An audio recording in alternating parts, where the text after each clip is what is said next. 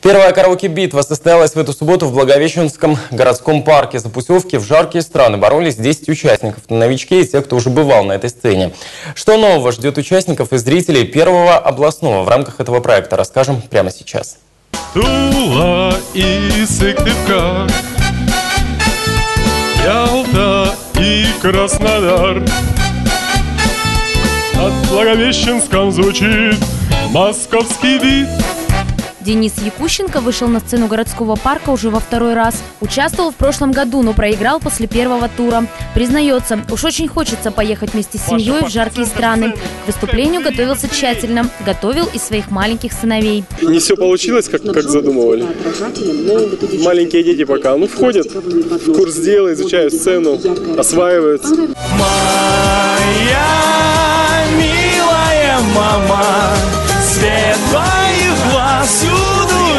рядом со мной. А вот менеджер в центре фейерверков Андрей Никишин участвует в караоке-битве в первый раз. Когда зрители «Апельсинового утра» в отборочном туре выбрали именно его, даже не поверил.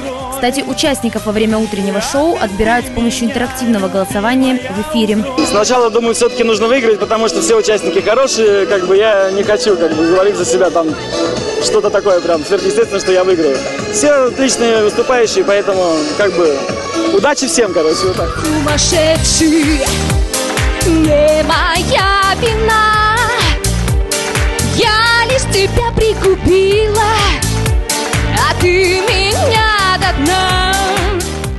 Кто-то поет просто в свое удовольствие, а кто-то пением зарабатывает. Эльвира Жемчужная хочет не просто победить в караоке-битве. На свои вокальные данные у нее далеко идущие планы. Она собирается, не больше, не меньше, воплотить свою давнюю мечту.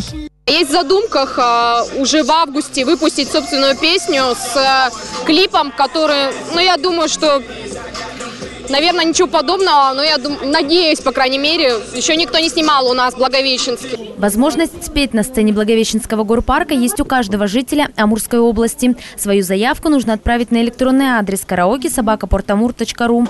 Проголосовать за участника, который вам понравился, можно на сайте portamur.ru. Там же можно узнать все подробности конкурса. Кстати, в финале победителей ожидает необычный галоконцерт, подробности которого организаторы пока держат в секрете. Кристина Добровольская, Новости дня, информационное агентство «Порт Амур».